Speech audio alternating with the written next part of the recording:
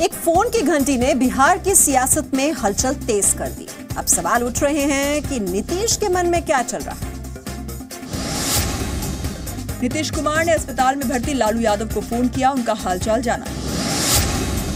मुंबई में लालू यादव का इलाज चल रहा है, रविवार को उनकी सर्जरी हुई है।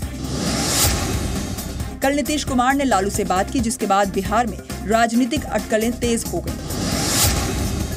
हालाँकि तेजस्वी यादव ने सफ़ाई दी। कहा यह शिष्टाचार वाली बातचीत थी।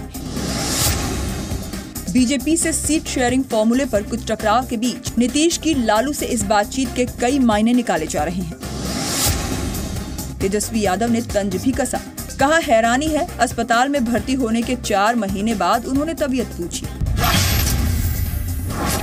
उनकी तबीयत खराब है।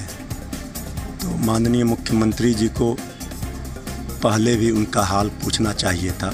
हर चीज़ को राजनीतिक चश्मे से देखने की ज़रूरत नहीं है। व्यक्तिगत तौर पे संबंध बहुत पुराने हैं और इसलिए एक दूसरे का हालचाल लेना ही लेना भी चाहिए और इसमें कोई बुराई नहीं है। नहीं इसको राजनीतिक दृष्टि से नहीं व्यक्तिगत अपने आधार पर बातचीत किए हैं इसमें कुछ ऐसा नहीं है।